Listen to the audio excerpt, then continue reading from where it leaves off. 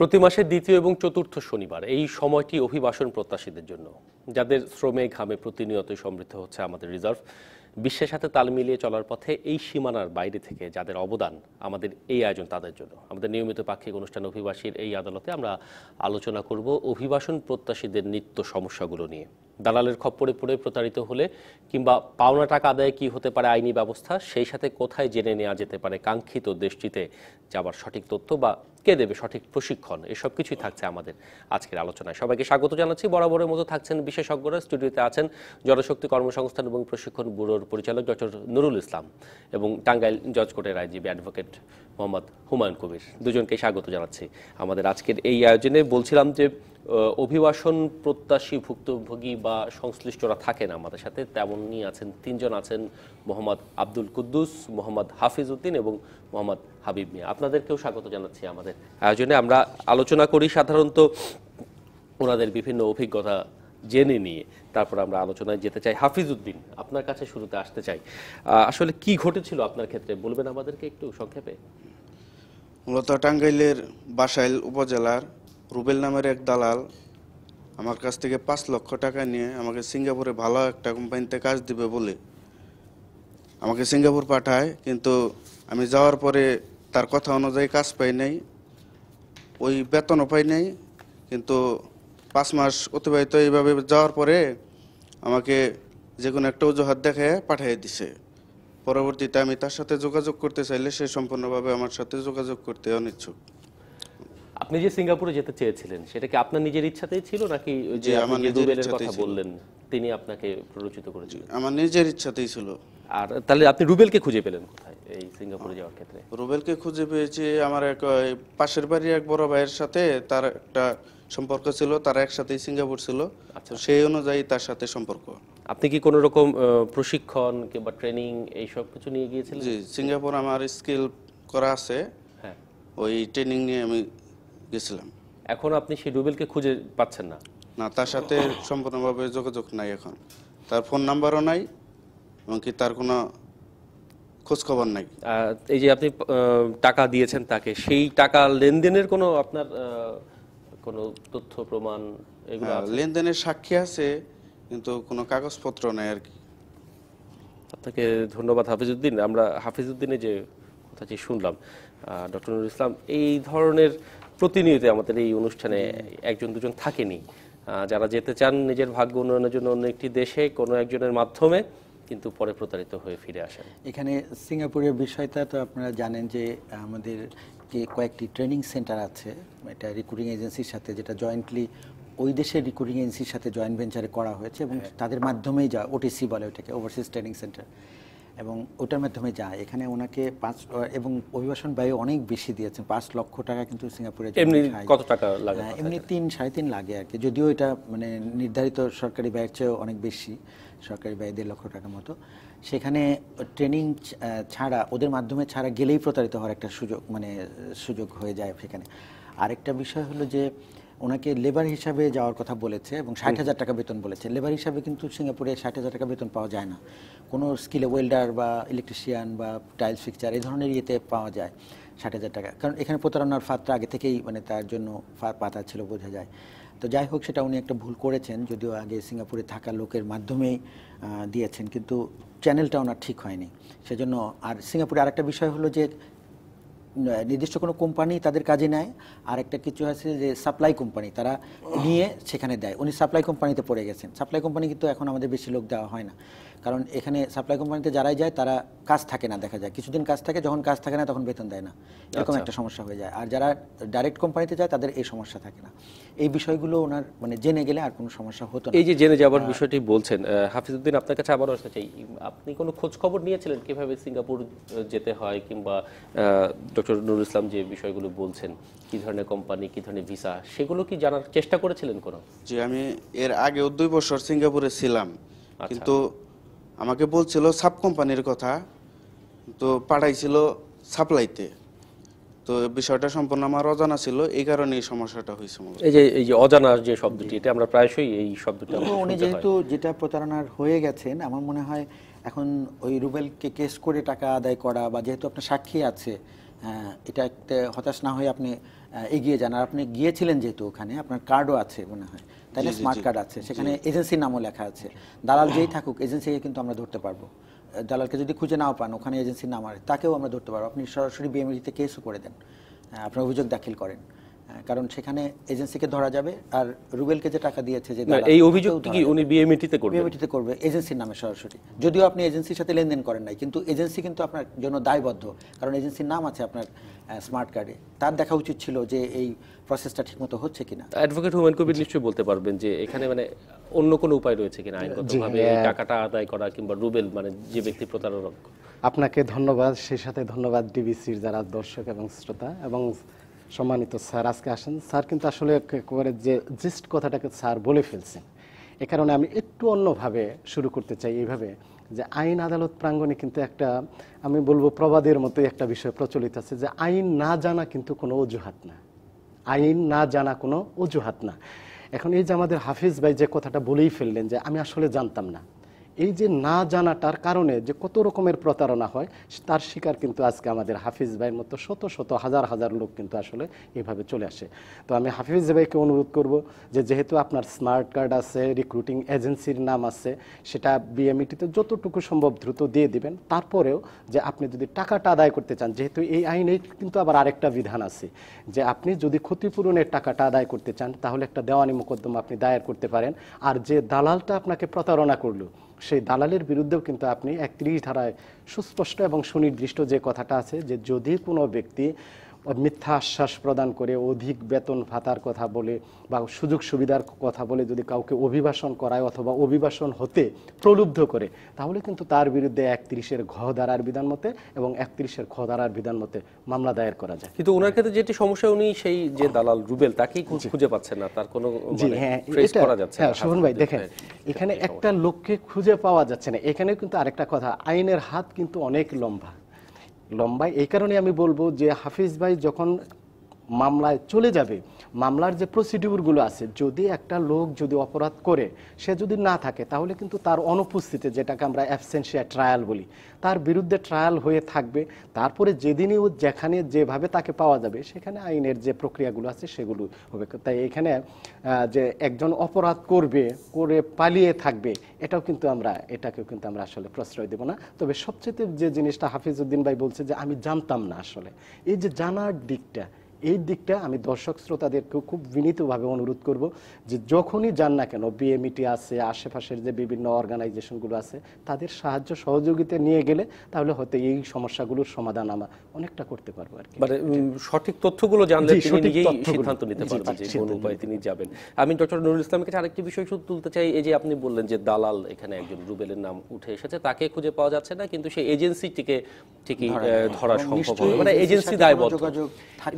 দালালদেরকেও কি কোনো এই দায়বদ্ধতার আওতায় আনা সম্ভব কিনা? এটি নিয়ে তো দীর্ঘদিন ধরে বিভিন্ন পর্যায়ে আলোচনা হচ্ছে। যখন প্রণয়ন করা হয় দুই হাজার তেরোতে তখন দালালদেরকে কীভাবে এর আওতায় আনা যায় এই ধরনের একটা চেষ্টা করেছিলাম। কিন্তু আসলে সঠিকভাবে তাদেরকে কীভাবে এই আইনের আওতায় আনা যাবে সেই পদ্ধতিটা আমরা প্রসেসে আনতে পারিনি। কারণ হলো যে বাংলাদেশে দেখা যাবে যে পনেরোশো এখন এজেন্সি আছে প্রায়। এদের এক একজনের যদি দশজন বা বিশ জন করে দালালের মানে বিষয় থাকে তাদেরকে কীভাবে মনিটরিং করা হবে? তারা তো একটা সিম্পলি আইডি আইডি কার্ড দেখাই আরও টাকা নেওয়া শুরু করে দিবে। এখন তো আমরা বলছি তারা অবৈধ কিন্তু তখন তো বৈধ হয়ে যাবে আরও। কিন্তু তাদেরকে যে এই যে আপনি বলছেন যে রুবেল জনৈক রুবেলকে খুঁজে পাওয়া যাচ্ছে না কিন্তু যে এজেন্সির মাধ্যমে হাফিজউদ্দিন গিয়েছিলেন তাকে খুঁজে পাওয়া যাবে। তখন যদি রুবেল তাদের এনলিস্টেড এজেন্ট হন কিংবা দালাল যাই হয়তো সমস্যা হতো না কিন্তু তখন এই রুবেল কিন্তু টাকা নিত না। তখন আরেকজন থাকতো যার কোনো লাইসেন্স নাই বা তার কোনো সংযোগ নাই সে নিত। মানে অ্যানাদার রুবেল থাকতো তখন। কারণ যাকে ধরতে পাচ্ছি সে তখন বেশি সিনে আসতে চায় না। যেমন এজেন্সির লোকরা এখন বেশি সিনে আসতে চায় কিন্তু না তাই বলে কি কোনো নিয়ম কিংবা কোনো কাঠামোর মধ্যে আওতায় কি আনা আমরা সম্ভব ভাবছি হবে না? যে দুই হাজার আঠারো বা উনিশে এই আইনটাকে আবার রিপিল করার জন্য আমরা একটা প্ল্যান করছি। অলরেডি আচ্ছা। ড্রাফট শুরু হয়ে গেছে। এখানে আমরা মিডলম্যানকে কীভাবে আইনের আওতায় আনা যায় এই প্রসেসটা নিয়ে চিন্তা কারণ। মিডলম্যানরাই সাধারণত টাকা পয়সা লেনদেন করে থাকে। দোরগোড়ায় যে পৌঁছান তাদের মাধ্যমে টাকা পয়সা লেনদেন এবং তারাই প্রতারণা তাদেরকে একটা রেজিস্ট্রেশনের বা আইডি কার্ড দেওয়ার বা কোনো না কোনো ভাবে একটা সম্পৃক্ত করার জন্য আমরা চিন্তা করছি যে আইনের আওতায় নিয়ে আসা যায় কিনা নেক্সট ভার্সনে হয়তো আশা করা যায় আমরা নিয়ে আসতে পারব নিশ্চয়ই এই বিষয়টি নিয়ে সরকার এবং সংশ্লিষ্টরা আরও ভাববেন এবং এই বিষয় নিয়ে এগিয়ে যাবেন আমরা একটি বিরতির পরে ফিরে আসব। বিরতির পরে ফিরে এসে আমরা আব্দুল কুদ্দুস সাহেবের কাছে যাব, তার বক্তব্য শুনব এবং তিনি কি সমস্যার সম্মুখীন হয়েছিলেন সেটি নিয়ে আরও আলোচনা করব এবং আরও যারা আছেন, সরাসরি টেলিফোন করে আমাদের সাথে যুক্ত হতে পারেন। এই মুহূর্তে একটি বিরতি নিচ্ছি, সাথেই থাকুন। আমরা ফিরে এলাম অভিবাসীর আদালতে। প্রতি মাসের দ্বিতীয় এবং চতুর্থ শনিবার দুপুর বারোটা পনেরো মিনিটে সরাসরি এই অনুষ্ঠানে টেলিফোন করে আপনারা জানাতে পারেন অভিবাসন সংক্রান্ত বিভিন্ন সমস্যার কথা। ফেসবুকে আমাদের পেজেও মন্তব্য করতে পারেন। এই সমস্যার সমাধান দিতে স্টুডিওতে বিশেষজ্ঞ হিসেবে আজকে আছেন জনশক্তি কর্মসংস্থান প্রশিক্ষণ ব্যুরোর প্রশিক্ষণ পরিচালক ডক্টর নুরুল ইসলাম এবং আইনজীবী হিসাবে আছেন অ্যাডভোকেট মোহাম্মদ হুমায়ুন কবির এবং অভিবাসন প্রত্যাশী ভুক্তভোগীদের তিনজন আছেন আমাদের সাথে। আছেন মোহাম্মদ আব্দুল কুদ্দুস, মোহাম্মদ হাফিজউদ্দিন এবং হাবিব মিয়া। আর সরাসরি টেলিফোন করবার নাম্বার শূন্য নয় ছয় ছয় ছয় সাত সাত সাত তিন এক এক। এই নাম্বারে। আমরা এর আগে হাফিজউদ্দিন ভাইয়ের কথা শুনছিলাম। তিনি দালালকে পাঁচ লাখ টাকা দিয়ে গিয়েছিলেন সিঙ্গাপুরে। ফিরে এসেছেন ছয় মাস বাদে। দালালের কোনো খোঁজ পাওয়া যাচ্ছে না। সেই বিষয় নিয়ে আপনাদের মতামত এবং বিভিন্ন উপায় আপনারা বাতলে দিয়েছেন। একটু আব্দুল কুদ্দুস সাহেবের কাছে যেতে চাই। আপনার ছেলের ঘটনা ঘটেছিল না? আমার ছেলে সৌদি যাওয়ার জন্য টাঙ্গাইল দশে আনোয়ার হোসেন চরপাগল্লার দালাল, সে পাঁচ লক্ষ টাকা নিছে আমার ছেলেরে সৌদি দেওয়ার জন্য। সৌদি দেয়া যে কোম্পানির কথা কইয়া নিছে, সে কোম্পানির সে পানাই না পাওয়ার কারণে আমার ছেলে না আলে খালে থাকে। অসুখ হয়েছে। অসুখ হওয়ার পরে এখন এমনি এক লোক পাইয়া আমাকে ফোন দিয়ে বলে, আব্বা, আমার বাঁচাও। এখন আমি তো কিছু পারি নাই। ওর বাঁচানোর জন্য। এখন আমি কী করি? দালালে টান দেয় দালালে আমার সারা দেয় না। না দেওয়ানে এখন আপনি ওটা না এসছি আমার ছেলে আইনে দিন। আর দালাল টানলে টাকা উঠে দিবেন আর দালালে বিচার দিবেন। এর উনি গিয়েছেন কবে আপনার ছেলে? যে? কবে গিয়েছেন সৌদি আরব? গেছে দশ মাস ধরে। এই বছরেই? হ্যাঁ। দশ মাস হলো? দশ মাস হলো। আচ্ছা আর যাওয়ার আগে কি কোনো ট্রেনিং নিয়েছিল? ট্রেনিং কিছু দিছিল টাঙ্গাইল। আচ্ছা সরকারি ট্রেনিং? হ্যাঁ। আচ্ছা দেওয়ার পরে দুই তিন না তিন দিন ট্রেনিং দেওয়ার পরে ওরে বলে যে তোমার ফ্লাইট কত টাকা খরচ হয়েছে আপনার ছেলেকে? লক্ষ টাকা। পাঁচ লক্ষ টাকা। আব্দুল কুদ্দুসের যে ঘটনা সৌদি আরব মধ্যপ্রাচ্য তো মানে বাংলাদেশের শ্রম বাজার হিসেবে সবচেয়ে বড় বাজার সবচেয়ে পরিচিত বাজার। তারপরও নিয়মিত এই বাজারে যেতে যে এই ধরনের প্রতারণা শিকার কেন গত বছর সাড়ে পাঁচ লক্ষ লোক গেছে সেখানে। হ্যাঁ। কিছু সমস্যা আমরা পাচ্ছি। এখানে যে বিষয়টা আমি বলি যে আপনার পাঁচ লক্ষ টাকা দিয়েছেন উনি আঠারো হাজার টাকা মাসে বেতন। তিন বছরে টাকা ওঠে না এই এই বিষয়টাও একটু যাওয়ার আগে চিন্তা মানে করা দরকার ছিল একটা। দুই নম্বর হলো যে এখানে গ্রিনল্যান্ড ওভারসিজের মাধ্যমে গিয়েছেন। উনি যেহেতু বৈধভাবে গিয়েছেন এবং ওখানে তার কা- এখনও অবস্থান করছেন। হ্যাঁ। তার কাছে অবশ্যই স্মার্ট কার্ড বা তার কপি আছে এবং গ্রিনল্যান্ড ওভারসিজ একটা অনেক বড় এজেন্সি বেশ বড় এজেন্সি আপনি ইমিডিয়েটলি আপনার বিএমইটিতে একটা কমপ্লেন করে দেন। কারণ তাদের রেপুটেশন বা ইয়ে রক্ষার্থেই কিন্তু তাদের এই কাজটা করতে হবে এবং তাকে ফেরত চাচ্ছেন, ছেলেকে ফেরত আনার জন্য এবং তার টাকা যেন ফেরত পান। দালালকে হয়তো বেশি টাকা দিয়েছেন, যেটা হয়তো এজেন্সি পর্যন্ত পৌঁছে নাই, কিন্তু তার তো একটা রেমেডি হবে এবং বড় এজেন্সি যেহেতু, তারা এভাবে পালিয়ে থাকতে পারবে না এবং তারা এটা রেস্কিউ অবশ্যই করবে। আপনি এজেন্সির কাছে একটা যোগাযোগ করেন। গ্রিনল্যান্ড ওভারসিজ আপনার স্মার্ট কার্ডে অবশ্যই লেখা আছে। এখানে যেহেতু আপনারা মেনশনও করেছেন। আর বিএমইটিতে একটা কমপ্লেন করেন। আর দালালের এগেনস্টে তো আপনারা একটা কমপ্লেন করতেই পারবেন যে, তাকে যদি এখন না পান বা তাকে ধরতে না পারেন, সেটা হলো আদালতের মাধ্যমে এগিয়ে যেতে হবে। তো পাশাপাশি বিএমইটির যে কমপ্লেন করবেন, তাতে আমরা এজেন্সিকে আটকে ফেলতে পারব যে, তোমার এটা ওনাকে ফেরত আনতে হবে। কারণ সে অসুস্থ হয়ে আছে সেখানে। তাকে এখন তাড়াতাড়ি ফেরত আনা দরকার। যে ওখানে থেকেছে যে অন্তত মানে দেশে এসে বাঁচুক তারপরে টাকার যে ফয়সালা সেটা তো আস্তে আস্তে হবেই। কাজে আপনি এই দিক থেকে এগিয়ে যান কিন্তু। মানে বিএমইটিতে কমপ্লেন বিএমইটিতে কমপ্লেন করতে পারবেন। টাঙ্গাইলেই যে বিএমইটির অফিস আছে সেখানে। টাঙ্গাইলে যে আমাদের ডেমো অফিস আছে হ্যাঁ, সেখানে করেন। করে এজেন্সির নামটাম সহ সবকিছু দিয়ে আপনার বিস্তারিত লিখে কমপ্লেন করে দেন। দালালের ক্ষেত্রে কি হতে পারে? আমার সেটা মনে হয় অ্যাডভোকেট হুমায়ুন কবির বলবেন। তার আগে একজন দর্শক আছেন আমাদের সাথে টেলিফোনে। আমরা দর্শকের প্রশ্ন কিংবা মতামত সেটি নিতে চাই। দর্শক আপনি পরিচয় দিয়ে আপনার প্রশ্নটি করুন। জি আলাইকুম। আমি সোহরাব হোসেন বলছিলাম। হ্যাঁ হ্যাঁ শুনছি বলুন। লিখিত লিখিত অভিযোগ করার জন্য হ্যাঁ?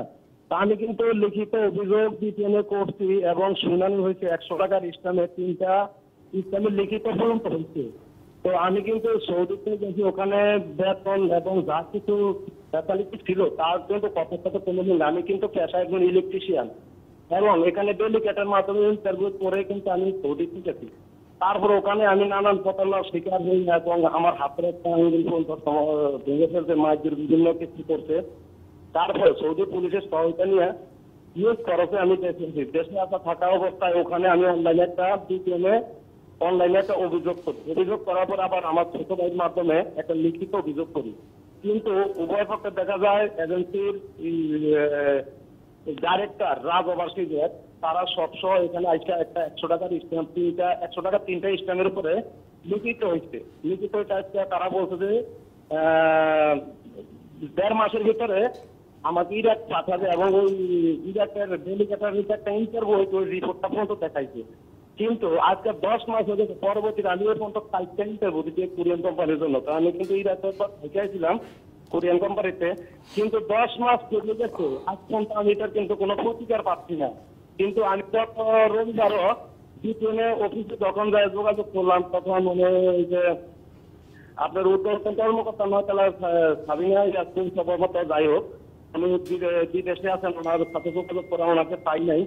পরবর্তী ওনার সাথে যে দুই সার ছিলেন এটা সমাধান করার জন্য মানে আপনি এখন কীভাবে এই প্রতিকারটি পাওয়া যায় সেটি জানতে চাচ্ছেন নিশ্চয়ই? জি ধন্যবাদ আপনাকে আপনি সাথে থাকুন ডক্টর নুরুল ইসলাম বিএমইটিতে উনি যোগাযোগ উনি অলরেডি। কমপ্লেন করেছেন হ্যাঁ। এবং এটা বিচারাধীন আছেন এবং কয়েকটা সিটিংও হয়েছে উনি বললেন এবং এজেন্সি এসে একটা মুচলেখাও দিয়েছেন স্ট্যাম্পে যে আমি টাকা ফেরত দিব কিন্তু দেওয়ার পরে হয়তো ডিলে করছেন কাজে আপনার এটা তো বিচার অবশ্যই পাবেন এবং আপনি এটাকে পার্সু করতে থাকেন এবং কনসার্ন যে অফিসার সেখান থেকে যদি কোনো বিষয় আপনার ঊর্ধ্বতন কর্তৃপক্ষকে জানাতে হয় সেজন্য আপনি ডিজি মহোদয় আছেন বা ডাইরেক্টর আছেন তার সাথে একটু দেখা করেন যে আমার কেসটাকে আরেকটু তাড়াতাড়ি যাতে ফয়সলা হয় সে ব্যবস্থা করে এক্সপেডাইট করার জন্য। এটা আপনি আপনার কেস অলরেডি প্রসেসে আছে এবং আপনি অবশ্যই এটার প্রতিকার পাবেন।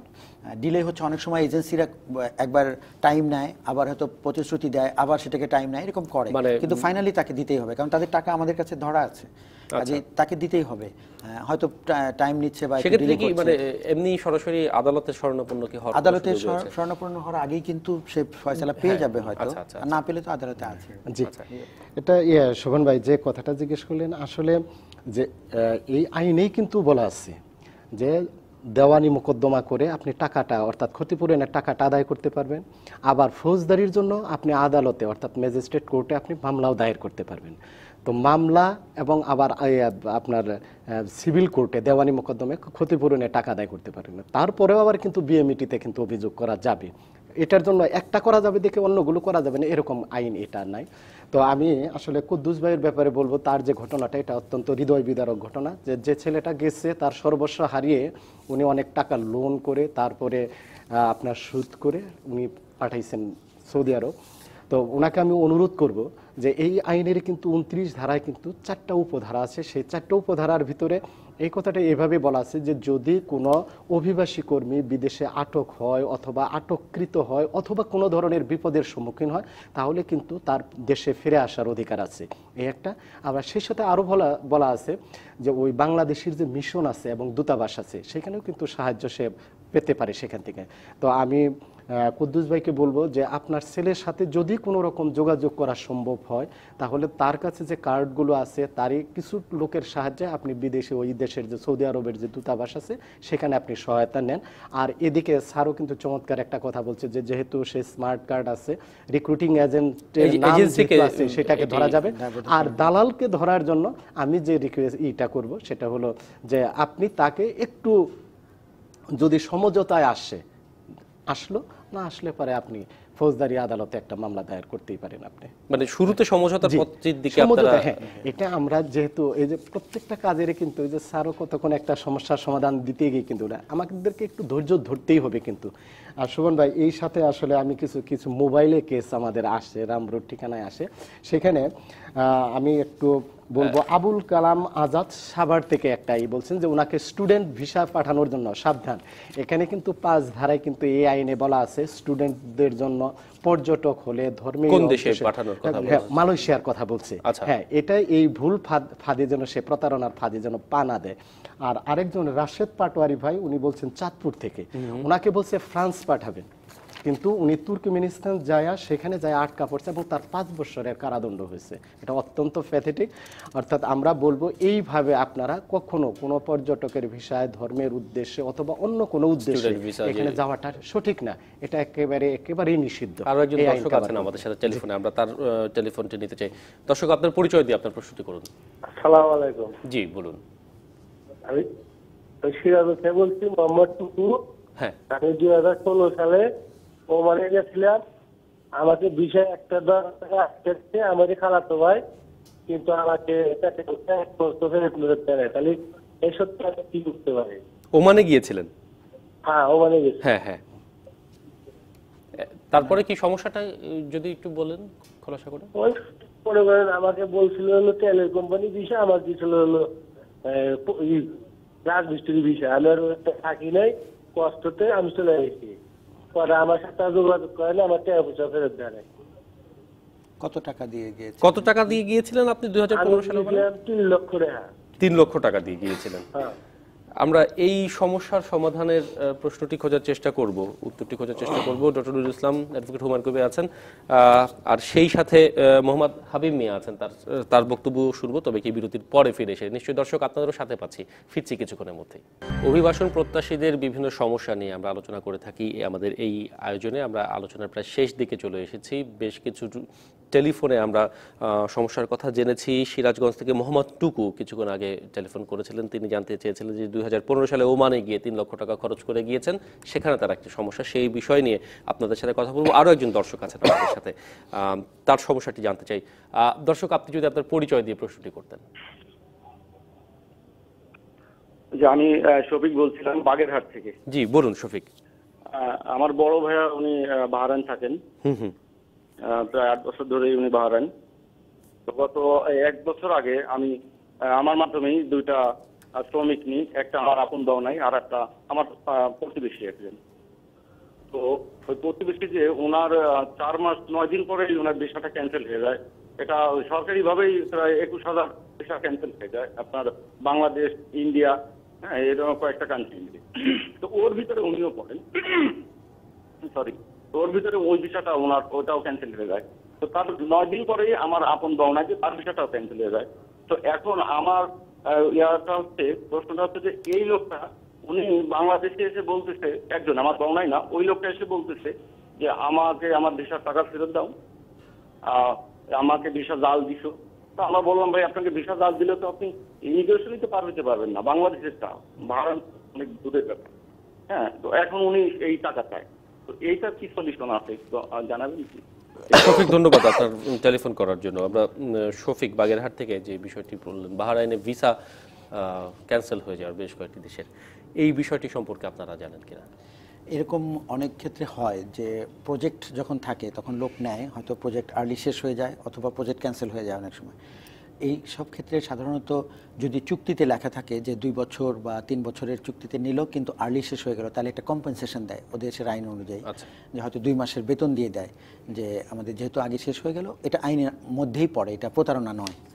এবং তাকে যেভাবে পাঠানো হয়েছে দেখা যাচ্ছে যে অভিবাসন ব্যয় অনেক কম এবং অনেকটা কয়েকটা দেশের সাথে মাল্টিন্যাশনাল কোম্পানিতে সম্ভবত পাঠানো হয়েছে। এবং সেই ক্ষেত্রে তাকে যদি কম্পেনসেশন দিয়ে থাকে, তিন মাসের বেতন সাধারণত দেওয়া হয় আর্লি যদি এরকম শেষ হয়ে যায়, সেটা ক্লেম করতে পারবেন। তাছাড়া ওই যে টাকা উনি গেছেন, সেটা তো অনেক কম, একুশ হাজার টাকা গেছেন মাত্র। তো সেখানে সেটা ক্লেম করে খুব লাভ হচ্ছে না। এবং ওই কম্পেনসেশনটা শুধু ক্লেম করতে পারেন, আর আবার জন্য ভিসা দেয়, এই ধরনের কোনো একটা ক্লেম করতে পারেন। কিন্তু যিনি টেলিফোন করেছেন শফিক সাহেব, উনি পাঠিয়েছিলেন ওনার মাধ্যমে। উনি আসলে এখানে ভুক্তভোগী কিন্তু ইয়ে না মানে মাইগ্রেন্ট ওয়ার্কার না হ্যাঁ। উনি হলো মানে মিডল ম্যান বা পাঠানোর জন্য। হ্যাঁ। সেজন্য ওনার খুব বেশি দায়বদ্ধতা নাই ওনার এখানে করণীয় নাই আসলে। কাজেই উনি যে এখানে ওনার এগেনস্টে যদি কেসও করে সেটা যে খুব বেশি টিকবে তা নয় কারণ এরকম ধরনের কেস হচ্ছে। সেক্ষেত্রে এটা অনেকটা অ্যাকসেপ্ট করে নিতে হয় যে এরকম ধরনের প্রজেক্ট আর্লি শেষ হয়ে যায় আরেকজন দর্শক আমাদের টেলিফোন করেছিলেন যে ভাই করেছেন আসলে ওনার যে কাজে ওনাকে নিয়ে যাওয়ার কথা তেলের কোম্পানিতে, কিন্তু সেটা দেয়নি, একটা পরিশ্রমের কাজ দিয়েছে। এখানে যিনি পাঠিয়েছেন, তার একটা মানে বলার ভুল, বর্ণনায় ভুল করেছে সে, যার ফলে ওনাকে পাঠিয়েছে, কিন্তু সব কিছু ঠিকঠাকই আছে, যদিও অভিবাসন ব্যয় অনেক বেশি, তিন লক্ষ টাকা। তো যেহেতু মিথ্যা কথা বলেছে, প্রতারণা করেছে, উনি একটা কেস করতে পারেন, আমাদের একত্রিশের ধারায় তো কেস করতেই পারেন উনি, এবং তাকে যেহেতু মিথ্যা কথা বলে তাকে কারণ ওই কাজে তো উনি যাবেন না। সেজন্য উনি যদি এটা ক্লেম করেন তাহলে হয়তো সেই টাকাটা সে ফেরত পেতে পারেন এবং আমরা আমাদের স্টুডিওতে আছেন হাবিব মিয়া। তিনিও বোধহয় ওমানে যাওয়ার ছিল আপনার। আপনার ঘটনাটি একটু বলবেন আমাদের? আর ফুলতলার সাফি মিয়া আমার কাছে উনি এক লক্ষ বিশ হাজার টাকা নিয়ে আমার ওমানের পাঠানের কথা কইয়া তিরিশ হাজার টাকা বেসিকের কথা বলে দশ মাস আগে আমার কাছে টাকা নিছে। পরে মনে করুন যে এখন টাকা নিয়ে হে বাড়ির থেকে পালাতক। আচ্ছা। পরে আমি দালালের বিচার চাই আর আমার টাকা রিটার্ন মানে আপনি টাকা ফেরত চান ওমানে যেতে পারেন নাই। আর সেই দালালকেও এখনও খুঁজে পাচ্ছেন না? না। এই বিষয়গুলো নিয়ে আমার অবশ্যই যেতে হবে আসলে অ্যাডভোকেট হুমায়ুন কবিরের কাছে। কি হ্যাঁ এখানে আমি হাবিব ভাইয়ের ব্যাপারে যেটা বলব প্রথমে যেহেতু ওনার পাশাপাশি গ্রাম খুব সম্ভব আর কি দালালের বাড়ি। তো আপনি প্রথমে আপনার এলাকার লোকজনদেরকে নিয়ে একটু বসেন। বসার পরে একটা আপনার একটা ডকুমেন্টসও ক্রিয়েট হলো, এক। আর দ্বিতীয়ত হলো যে আপনাকে হয়তো মোবাইলে একটা ই মেসেজ পাঠাইছে যে আপনাকে ভিসার কথা বলে কিছু টাকা নিচ্ছে তো এটার জন্য যদি আপসে কম হয়, তাহলে হলো, না হলে পরে আপনি ওই দালালের বিরুদ্ধে একটা ফৌজদারি মামলা করতে পারেন। আর আপনার টাকাটা আদায়ের জন্য দেওয়ানি মোকদ্দমা করবেন। আর ইয়া সোহন ভাই আমি একটু দৃষ্টি আকর্ষণ করব স্যারেরও সেটা। সেটা হলো ইদ্রিস আলী নামে একজন ভদ্রলোক খিলগাঁও থেকে একটা মোবাইলে কেস পাঠিয়েছেন। সেটা হলো তার বোন দুই হাজার পনেরো সালে সৌদি আরব গেছে। যাওয়ার পরে প্রথম একটা টেলিফোন আসে যে সে তাকে শারীরিকভাবে প্রচণ্ডভাবে নির্যাতন করছে। পরবর্তীতে দালাল বলে যে সে মারা গেছে। এখন তার করণীয়টা কি? এক্ষেত্রে আমি আসলে অনেক কেস আসলেও আসলে আমি দর্শক শ্রোতাদের একটু অনুরোধ করব এইভাবে, যে আমাদের ভুক্তভোগী যারা এখানে স্টুডিওতে আসে, তাদের কথার সাথে যদি মিলে যায়, সেই প্রশ্নগুলোর উত্তর আমরা দেই না। যেহেতু আমাদের অনুষ্ঠান আপনারা দেখতেছেন, তো আমি এখানে সেই ইদ্রিস আলী ভাইকে অনুরোধ করব, আপনি যত সম্ভব দ্রুত আপনার কাছে যদি কোনো ধরনের কাগজপত্র থাকে, তাহলে পরে বিএমইটিতে একটা পিটিশন দাখিল করেন, আর সেই দালালের নাম, ঠিকানা সংগ্রহ করলে পরে, তখন হয়তো একটা ফৌজদারি মামলা এবং আরও অন্যান্য যে প্রতিকারগুলো আছে, সেই প্রতিকারগুলো পাওয়ার একটা সমূহ সম্ভাবনা আছে। তিনি মারা গেছেন কিনা এটা কি তিনি হ্যাঁ জি হ্যাঁ দালাল বলছে যে সে মারা গেছে এবং তার বোনও কিন্তু আর কোনো ধরনের আর রেসপন্স ওই সৌদি আরব থেকে করতেছে না। আর যে বিষয়টি আমরা সবসময় আলোচনা করে থাকি আপনি তো আইন অঙ্গনের সাথে আছেন এই যে বৈদেশিক কর্মসংস্থান যে আইন দুই হাজার তেরো সালের এই আইনের যথাযথ প্রয়োগ কি হচ্ছে? কিংবা এই আইনের আওতায় কি এই ধরনের কেসগুলোকে আহ, সাধারণত আহ, এই এই আইনের আওতায় আনা হচ্ছে কিনা মানে মাঠ পর্যায়ের অভিজ্ঞতা আপনার কি হয়? হ্যাঁ আমার অভিজ্ঞতায় আমি আসলে যেটা বলব যে আসলে এই যে দুই সালের কারণ বৈদেশিক আপনারাই বলছেন যে এটা পূর্ণাঙ্গ আইন, এই আইনের মাধ্যমে এটা আমি অত্যন্ত এখন এই স্কোপটা আছে কিনা যেহেতু আমাদের ডক্টর নুরুল ইসলাম স্যার এখানে উপস্থিত আছেন। আসলে আমাদের বার অ্যাসোসিয়েশনগুলোতেও যদি একটা ওয়ার্কশপ করা যায় বিশেষ করে যারা ক্রিমিনাল সাইটে প্র্যাকটিস করে এখনও কিন্তু আসলে ম্যাক্সিমাম কেসগুলোই কিন্তু করা হয় চারশো ছয় এবং চারশো বিশ ধারা। অর্থাৎ আইনটা সম্পর্কেও কিন্তু আসলে হ্যাঁ। তারপরে কিছু কিছু লার্নেটরা এখন এই আইনটার প্রয়োগ করতেছে এবং এটা চমৎকার একটা আইন এটা কিন্তু লার্নেট কোর্টও কিন্তু অনেকটা লিবারাল দৃষ্টিতে কিন্তু আমাদের এইটা দেখে। যেমন ধরেন যে অন্যান্য যে মারামারির মামলা বা খুনের মামলাগুলো সেই ক্ষেত্রে কিন্তু বিভিন্ন ধরনের লোককে অর্থাৎ যারা নির্দোষ তাদেরকেও একটু তাদেরকে ইমপ্লিকেটেড করে এই মামলাটা দায়ের করার স্কোপ আছে কিন্তু এই ক্ষেত্রে কিন্তু সাধারণত সেটা হয় না। এই কারণেও আমরা চাই স্যারদের কাছে যে যদি এরকম কোনো ওয়ার্কশপ অথবা সেমিনার করা যায় মানে আইনজীবীদেরকে জি, সচেতন করা জি জি আমাদেরকে।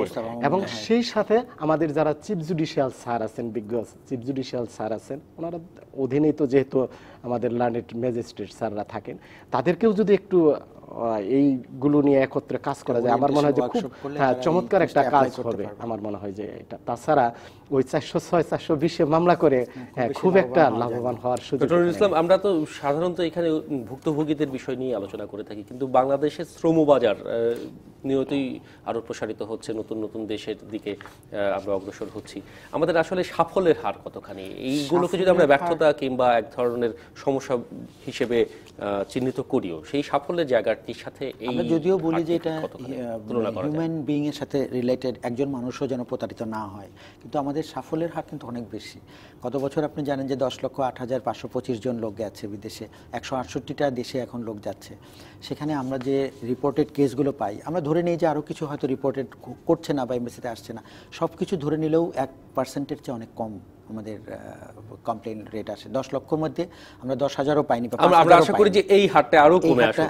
এই জায়গাটা থেকে মানে সরকার এবং সংশ্লিষ্ট যারা রয়েছেন তারা আরও সচেতন হোক। জিরো হোক এটা আমরাও চাই। নিশ্চয়ই।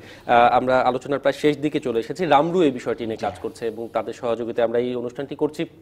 আমি তো দর্শকদেরকে রামরুর ঠিকানাটা আহ, জানিয়ে দিতে চাই। তাদের ঠিকানা একশো উনআশি সাত্তার ভবন শহীদ সৈয়দ নজরুল ইসলাম সরণি বিজয়নগরের অফিস। আহ, অভিযোগ Ramru at the rate of Gmail dot com সেখানে কিংবা W W dot Facebook dot com slash রামরুতে যোগাযোগ করা সম্ভব এবং সরাসরি টেলিফোন করা যায় শূন্য এক নয় এক এক সাত চার চার ছয় দুই চার এই নাম্বারে। অভিবাসীর আদালতে যারা আজকে আমাদের সাথে ছিলেন, আপনাদের সবাইকে ধন্যবাদ এখানে আসবার জন্য এবং যারা টেলিভিশনের মাধ্যমে যুক্ত হয়েছিলেন আমাদের সাথে, আমরা আশা করব যে এই অভিবাসীর আদালত কিংবা যে কোনো সমস্যার সমাধানের জন্য আমরাও সচেষ্ট হব এবং সংশ্লিষ্টরাও নিশ্চয়ই এগিয়ে আসবে এবং এই সমস্যার হার আরও কমবে। এই ছিল আজকের মতো। সবাই ভালো থাকুন।